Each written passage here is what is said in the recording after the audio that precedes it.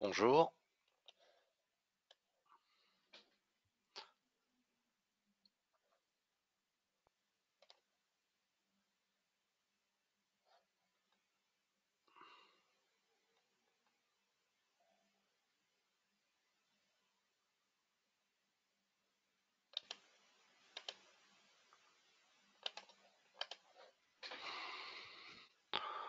Bonjour et bienvenue à notre euh, webinaire concernant euh, le traitement des factures euh, et l'intégration à notre système de GED. je suis Sébastien Gévaudan. Je suis en charge des ventes sur la région européenne et l'Afrique francophone. Euh, je vais très brièvement vous présenter euh, Office Gemini, euh, nos solutions logicielles, et puis travailler, vous montrer ensemble la manière dont nous travaillons pour la gestion et l'intégration des factures euh, au niveau de nos outils euh, d'archivage et de traitement de workflow euh, des factures que nos utilisateurs vont recevoir. en quelques mots, donc DocMe est une solution éditée par Office Gemini, société qui a été créée il y a maintenant un petit peu plus d'une dizaine d'années. nous avons des bureaux à Paris, en France, aux États-Unis, à Singapour et également à Bahreïn. Nous avons une équipe des équipes commerciales et euh, comment dire techniques dans chaque pays. Notre équipe de développement est basée aux États-Unis et bien sûr donc le support est fourni en français euh, depuis nos locaux euh, à Paris. quelques quelques comment dire récompenses que nous avons reçues ces dernières années. donc je passerai très brièvement là-dessus. donc pour vous indiquer donc la le, retour euh, de la communauté de la gestion documentaire par rapport à nos solutions. Euh, petite euh, parenthèse par rapport à l'interface de notre webinaire qui doit s'afficher sur vos écrans. Vous avez la possibilité euh, de poser des questions via une fenêtre dédiée de dialogue, euh, je crois euh, signalée par un petit point d'interrogation, où vous pouvez, si vous le souhaitez, si vous souhaitez intervenir de manière orale, lever la main. Il y a un petit bouton avec une main levée qui me permettra de vous donner la parole le cas échéant. Euh, pour reprendre euh, au niveau des solutions que nous proposons, euh, la solution DocMe se décompose en une solution de capture donc qui va partir de documents papier pour pouvoir traiter, gérer de manière complètement rationnel, donc la numérisation, l'extraction d'informations, l'indexation et la classification des documents, des factures qu'on va traiter, euh, et puis bien sûr une solution d'archivage euh, numérique, euh, d'archivage digital, pour ensuite traiter les, les, documents via en particulier l'outil de workflow qui est disponible dans notre solution. D'accord donc je ne vais pas rentrer dans les détails techniques là euh, de nos solutions logicielles. Euh, bien sûr, ces solutions sont tout à fait euh, disponibles à la fois de manière locale, c'est-à-dire installées sur site chez nos clients en termes d'hébergement, ou bien on peut mettre en place des systèmes d'hébergement soit dans le cloud, soit dans, dans des data centers, selon l'architecture informatique qui est utilisée par nos utilisateurs. Euh, je vais maintenant rentrer un peu plus en détail euh, dans la partie présentation et démonstration euh, de la solution que nous proposons. Alors, je vais bien sûr me connecter ici, je vais repartir de la page de connexion à notre système d'archivage numérique. Donc ce que vous voyez à votre écran est bien sûr la, la, la, la page d'accueil. Donc la page de pas d'accueil mais de, de comment dire d'accès, de connexion à la solution. Chaque utilisateur va disposer de son propre compte utilisateur euh, avec évidemment des accès limités euh, sécurisés selon le type d'utilisateur dont on parle. je me connecte donc avec mon identifiant et mon mot de passe. J'arrive sur ma, page d'accueil qui est décomposée de manière très simple et très ergonomique pour nos utilisateurs avec donc ces sept tuiles colorées que vous voyez ici. Donc l'explorateur de fichiers de manière à pouvoir naviguer facilement dans l'ensemble des documents qui sont euh, euh, archivés dans ma solution. Euh, une un, panneau de configuration, on va dire, pour gérer l'ensemble euh, des paramètres de la solution, si j'en ai des droits, bien sûr. Euh, la possibilité d'accéder à différents classeurs, encore une fois, selon mes droits d'utilisation. Une fonctionnalité ici d'upload euh, massive, je dirais en lot, de fichiers dans la solution.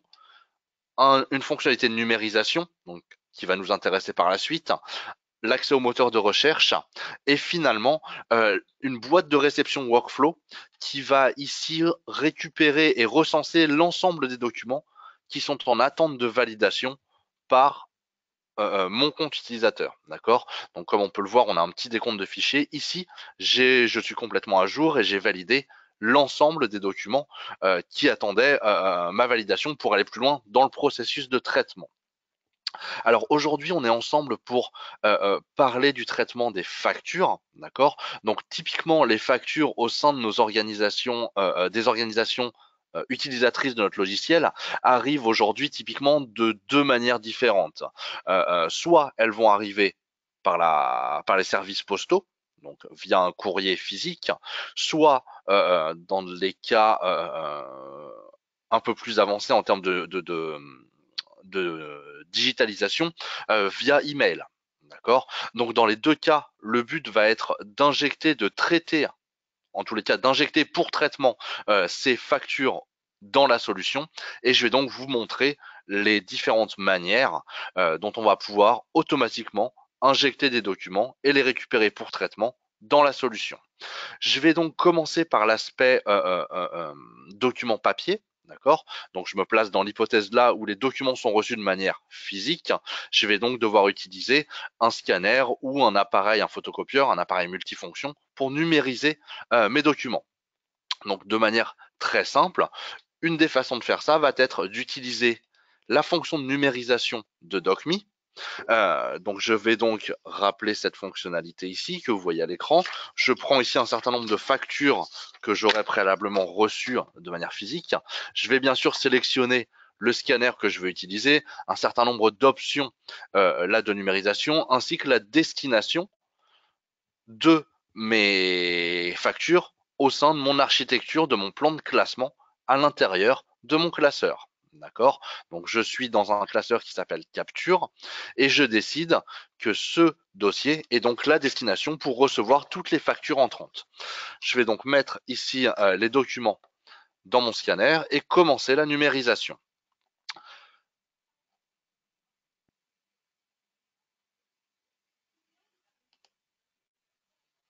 Ok, il semblerait qu'il y ait un problème au niveau de mon affichage. Euh, vous devriez maintenant voir mon écran. Je m'excuse pour ce problème. Euh, je suis donc, je vais revenir un petit peu en arrière. Hop, je vais refermer ça. Je vais revenir à ma page d'accueil. Euh, je m'excuse pour ça. Hein. vous devriez donc voir. Attendez, je vérifie quand même quel écran est bien affiché. Oui, c'est bien ça. Donc je reviens encore une fois en arrière, la page d'accueil ici, avec l'onglet de numérisation que je vous évoquais tout à l'heure et l'explorateur de fichiers euh, ici disponible. Alors, au niveau de la numérisation, comme je vous le disais, je vais donc utiliser un scanner qui est branché ici sur mon, euh, sur mon poste de travail.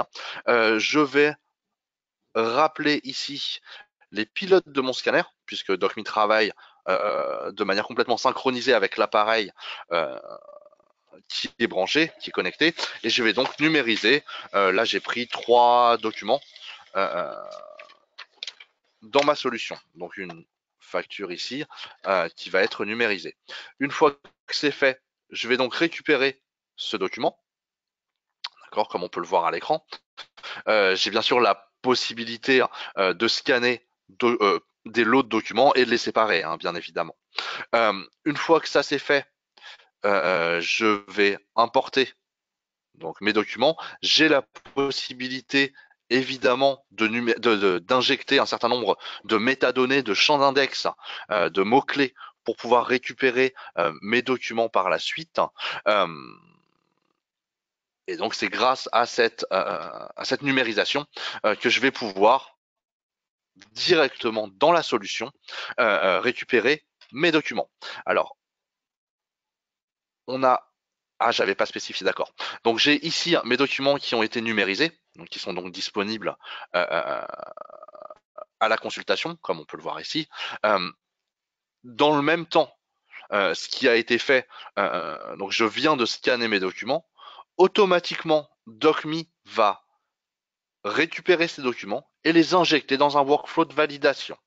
D'accord? Donc typiquement en termes d'opération, nous avons juste à mettre en place une numérisation sur une destination spécifique par l'opérateur qui est en charge d'injecter les documents dans la, euh, dans la solution, donc typiquement à la réception ou le département en charge de la réception du courrier va pouvoir faire ça directement dans la solution. Et comme on va pouvoir le voir euh, euh, sur mon écran ici, nous avons donc, nous retrouvons bien mon document ici dans ma boîte de réception workflow. D'accord Donc automatiquement, la solution va récupérer le document et l'injecter à la première étape de mon workflow. Donc si je clique sur le document, ce qui va se passer, je vais donc ouvrir euh, euh, cette facture et je vais pouvoir, selon les règles de traitement en interne mises en place, approuver ou rejeter ma facture et selon l'action, donc l'approbation ou le rejet qui va être fait, je vais tout simplement pouvoir envoyer mon document vers une étape ultérieure de traitement. Ce qui a été mis en place en cas d'approbation est donc le changement, euh, je crois, d'un statut au niveau de mon document, ce qui va permettre par la suite aux prochains opérateurs de traiter la facture. Donc typiquement, là, ce que j'ai fait, c'est que j'ai reçu mon document, il a été traité sur la première étape, il a été validé. Maintenant, c'est parti en comptabilité. Donc les prochains euh, euh, sur en termes de, personnes impactées par le traitement de ce document, ça sera donc, ça partira en comptabilité de manière à euh, euh, vérifier la facture et à initier la procédure de paiement directement derrière. Donc ça, c'est quelque chose qui est tout à fait paramétrable en fonction des procédures, du type de document ou de la nature euh, du, processus qu'on veut mettre en place. C'est bien sûr complètement adaptable et mis en place par nos équipes, par nos équipes de revendeurs euh, pour nos utilisateurs finaux. Euh, donc là, ce qu'on a vu, c'est la manière, je dirais, euh, de traiter un document qui arriverait de manière physique à travers une unité de numérisation, que ce soit encore une fois un scanner ou un appareil multifonction. Nous allons pouvoir directement, grâce à certains outils d'intégration, injecter les documents dans notre système GED. Euh, ce que nous allons maintenant voir, c'est la manière dont des documents numériques, donc, dont la nature euh, euh, sont, directement digitaux, donc des PDF, hein, c'est en général ce qu'on reçoit tous en termes de facture, comment on va pouvoir injecter ces documents de manière très simple directement dans la solution et de la même manière qu'ils soient récupérés pour traitement au niveau de la GED. Alors, j'ai ici donc un ensemble de factures. Alors j'ai plusieurs manières d'injecter mes documents. La première va être directement via des fonctions de, euh, euh, glisser-déposer. D'accord? Donc si j'injecte ici, vous voyez, je viens d'injecter une facture ou euh, directement en glisser-déposer. D'accord? Donc ici j'en ai trois que je viens déposer automatiquement ici. Donc de la même manière, DocMe va automatiquement récupérer ces documents et encore une fois les injecter à la première étape de, euh, euh, de mon workflow pour qu'il soit traité. D'accord? Au final, évidemment, euh, l'objectif est d'obtenir des documents classés, indexés de manière cohérente, rationnelle, et au final, j'obtiendrai, vous voyez, une fois le traitement terminé, des documents classés. Alors ici, j'ai choisi un classement par pays puis par fournisseur. Mes documents au final seront bien sûr automatiquement en fonction de leur état d'avancement dans, le workflow, euh, euh, déplacés, classés, indexés selon, selon l'état, encore une fois, euh, leur statut et leur état d'avancement dans mon workflow. Donc comme on l'a vu, je vais maintenant de nouveau revenir à ma boîte de réception sur ma page d'accueil. Comme on peut le voir, les quatre fichiers que je viens d'injecter de manière très simple via un, un glisser-déposer dans la solution ont bien été récupérés par le workflow. Un autre moyen euh, d'injecter ces documents va être d'utiliser une fonction de synchronisation euh, qui est tout à fait disponible et euh, nativement inclus dans, nos, dans nos systèmes d'archivage, qui est d'utiliser ce petit dossier que j'ai ici sur mon bureau pour envoyer des documents dans mon système GED.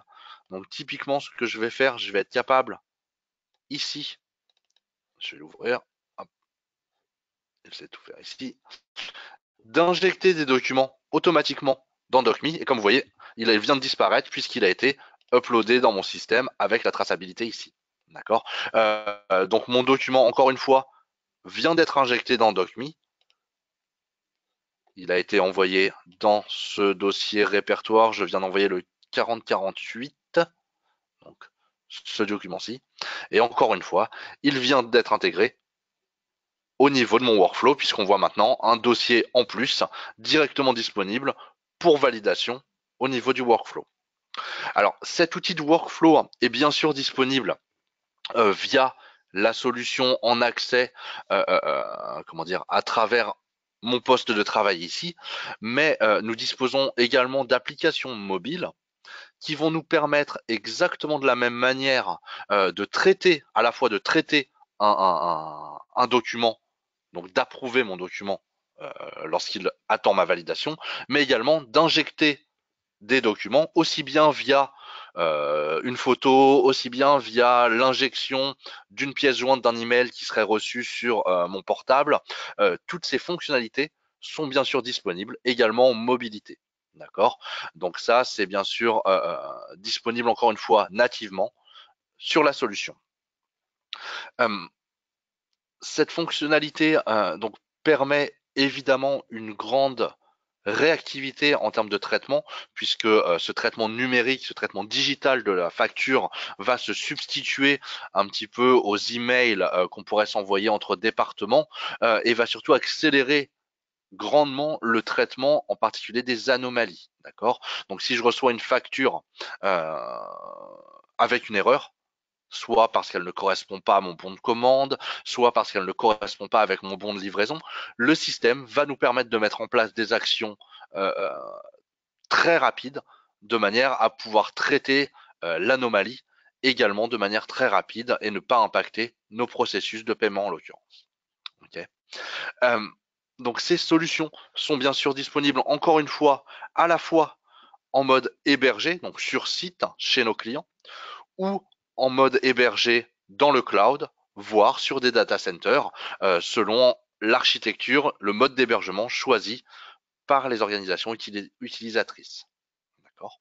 Euh, donc nous travaillons aujourd'hui avec un certain nombre de partenaires revendeurs euh, de manière à pouvoir évidemment avoir un rayonnement euh, sur l'ensemble de nos zones géographiques. Donc euh, la zone qui me concerne et encore une fois la zone européenne, puis plus la partie francophone de l'Afrique. nous avons bien sûr un, tissu, je dirais, de partenaires locaux prêts à répondre à l'ensemble de vos questions.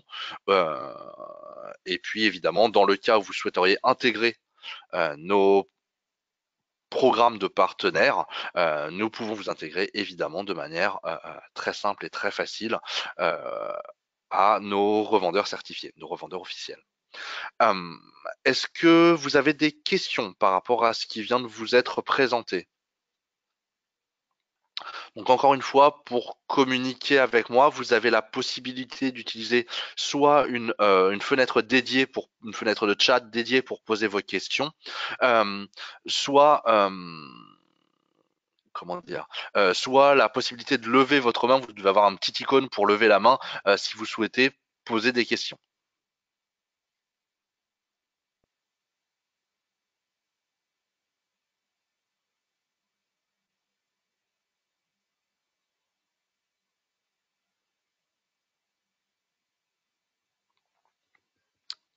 Alors, je vois une main levée. Euh, alors, je vais vous donner la main. Vous devriez pouvoir alors communiquer avec moi. Alors, si vous souhaitez, ah, vous venez d'activer votre microphone. Je vous écoute. Euh, bonjour, mon nom c'est Claudine. Bonjour. Bonjour. Donc, euh, ce que j'aimerais savoir, c'est si on a des documents durs, qui veut dire du papier, et que Oui. qu'on aimerait, qu'on aimerait euh, ajouter ça sur DocMe et puis partager ça avec d'autres personnes euh, qui sont, moi je dois dire, et qui ont des droits de voir ça. C'est comment je devrais faire. Mhm. Alors, très simplement, si vous disposez de, de- de documents papier que vous souhaitez partager avec euh, d'autres utilisateurs du système, il suffit de les numériser. Première étape. Donc, soit vous les numérisez directement dans la solution en utilisant l'onglet de numérisation ici, OK? soit deuxième méthode, vous pouvez les injecter euh, euh, euh, via un glisser-déposer. D'accord? Donc vous les prenez sur euh, euh, dans votre bureau, vous les mettez sur votre bureau, vous les prenez depuis votre email, peu importe, une fois qu'ils sont numérisés et vous les injectez Mhm. et vous les injectez directement dans la solution. Euh, troisième étape, troisième moyen, vous pouvez utiliser donc ce petit dossier que vous voyez sur mon écran qui s'appelle DocMeSync, qui est tout simplement euh, une porte d'entrée dans DocMe, ce qui va me permettre de mettre des documents dans ce dossier et tout ce qui est mis là va être automatiquement envoyé dans DocMe. Troisième possibilité. Euh, et à partir de là, en fonction des droits d'accès des utilisateurs, euh, j'ai d'autres moyens hein, d'injecter des documents. hein. Euh, J'ai un certain nombre d'add-ins pour les suites Microsoft. Je dispose d'une imprimante virtuelle également pour injecter des documents. Il y a toute une série de moyens d'envoyer des documents dans DocMe. Et une fois qu'ils sont dans DocMe, tous les utilisateurs qui auront le droit d'accès sur ces documents auront tout simplement dans le plan de classement ou dans le, fichier, le dossier destination, verront les documents en question. Donc ça, c'est pour l'accès. Maintenant, en termes de workflow, si vous souhaitez que le document, une fois qu'il est envoyé dans DocMe, eh bien, il soit traité, typiquement, on va dire, la première étape, ça va être auprès d'un utilisateur qui s'appelle euh, euh, euh, Sébastien. Eh bien, j'aurais juste à configurer DocMe pour dire tout ce qui rentre dans ce dossier spécifique. En l'occurrence, pour moi, ça va être DocMeSync. Le workflow 1 va être mis en place, va être activé, et le document sera envoyé à Sébastien pour validation. Moi, Sébastien, quand je me connecte, qu'est-ce que je verrai? Je verrai un document en attente dans ma boîte de réception workflow que je pourrais valider. D'accord? Et donc ça, c'est fait bien sûr de manière euh, complètement automatique. La seule chose que j'ai à faire, c'est de faire rentrer le document dans DocMe. D'accord, c'est- vraiment très simple et euh, on, on essaye de mettre en place des processus, des outils qui permettent de rendre toutes ces étapes euh, le plus simple possible et avec le moins d'interaction humaine possible pour éviter les erreurs, hein, bien sûr. D'accord. Est-ce que ça répond à votre question? Oui, oui, ça me va, ça me va, merci. Merci beaucoup. Je vous en prie. Euh, vous avez une autre question? Euh, oui, oui. Est-ce que euh, le DocMe, qui veut dire je suis, je suis à Montréal moi-même, est-ce que, Mhm. est-ce que vous pensez qu'on va pouvoir utiliser DocMe si je travaille dans, dans une entreprise? euh, est-ce que vous pensez que je vais pouvoir l'utiliser? Alors, euh, DocMe est un système dédié aux entreprises. D'accord? La version de DocMe que je vous présente ici est une version professionnelle, d'accord? Qui est adaptée à une utilisation en entreprise. Euh, je, typiquement, hein, des outils de workflow, de validation, c'est beaucoup plus en entreprise que sur un, un- je dirais, un point de vue, d'un point de vue personnel. Euh, nous disposons de versions home, de versions familiales euh, liées à une utilisation privée, hein, mais les fonctionnalités sont un petit peu différentes, hein, forcément.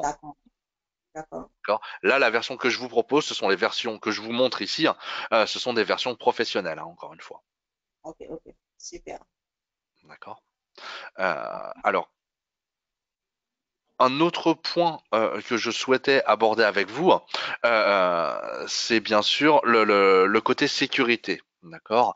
On a aujourd'hui une très forte euh, euh, composante euh, euh, réglementaire euh, qui nous pousse aujourd'hui, nous et nos clients, hein, évidemment, à, euh, euh, à mettre l'accent, un accent particulier euh, sur la sécurité des données et en particulier des données personnelles qui sont gérées au sein de, nos organisations clientes.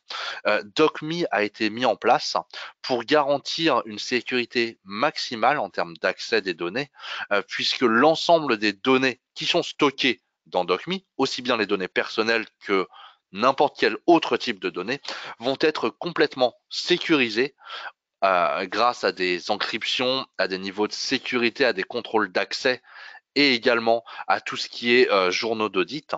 Donc toutes les actions qui vont être effectuées sur mon système DocMe vont être tracées, d'accord, de manière à garantir euh, une sécurité totale et une traçabilité totale de l'ensemble des informations et de leur accès évidemment euh, au sein de nos organisations clientes.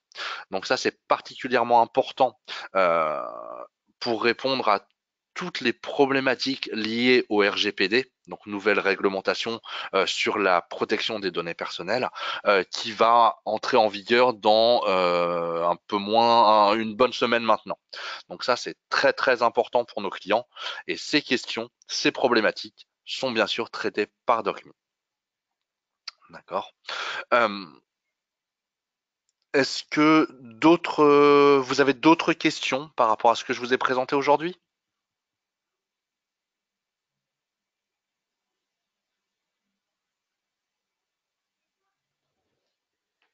D'accord.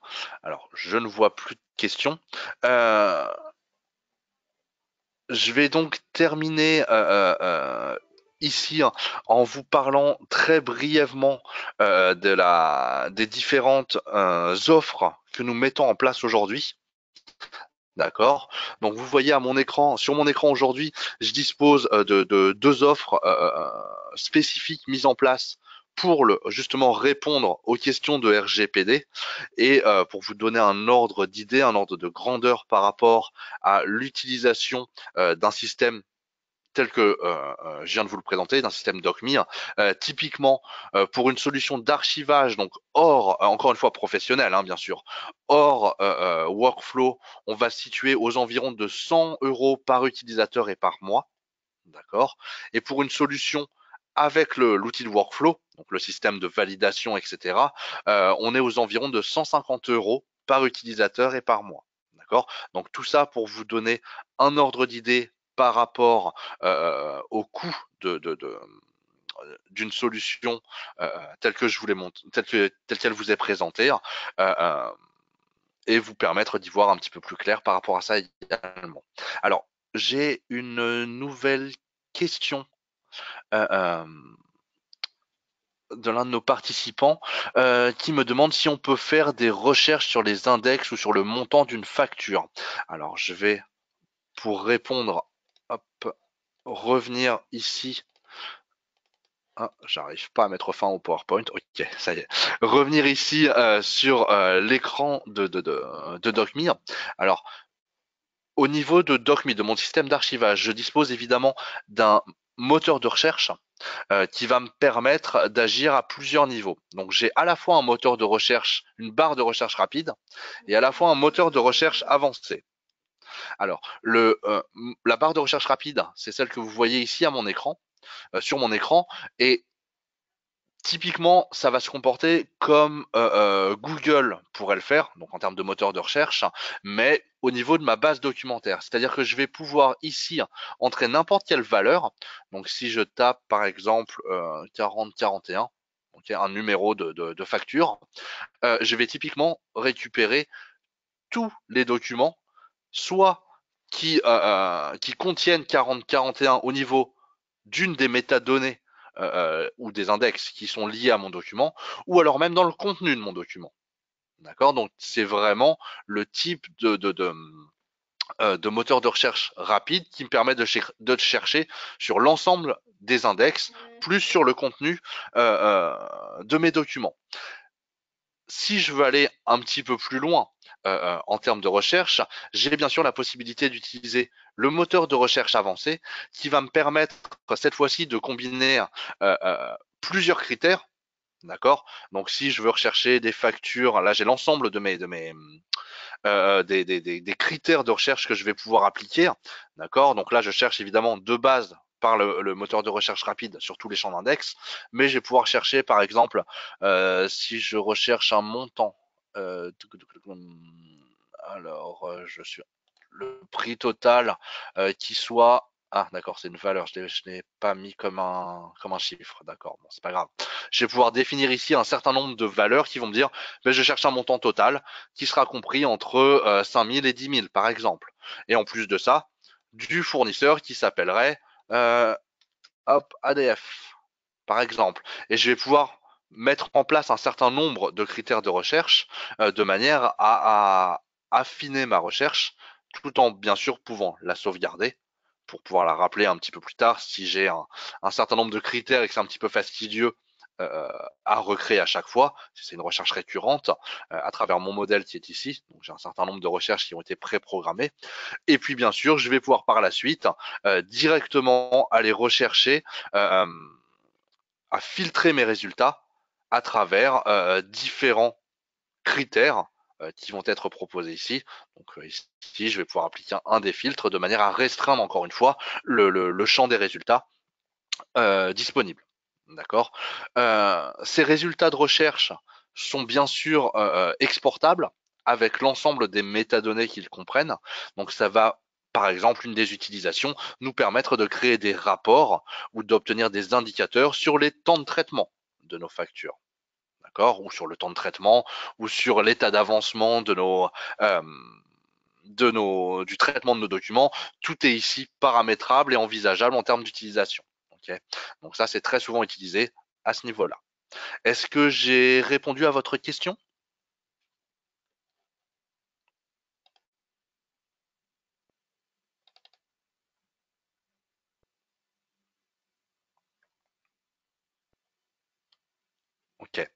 Euh,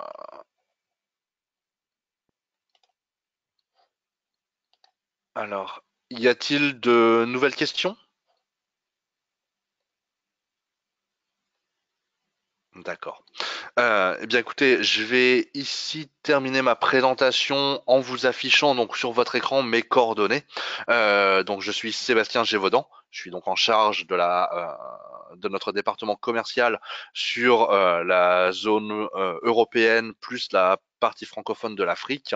Euh, vous avez mes coordonnées téléphoniques. Alors ajoutez le, préfixe français si vous souhaitez m'appeler depuis l'étranger, donc plus 33, mon email et bien sûr le lien vers notre site internet. des versions d'essai sont disponibles pour nos solutions, vous pouvez soit les trouver directement sur notre site internet ou bien me contacter afin qu'on mette ça en place selon les spécificités de votre utilisation ou de celle de vos clients. Voilà.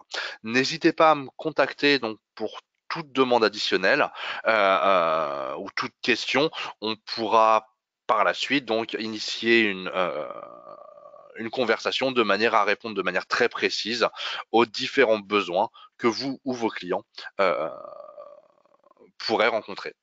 Je vous remercie beaucoup de votre attention. Euh, n'hésitez pas à revenir vers moi encore une fois euh, pour toute question.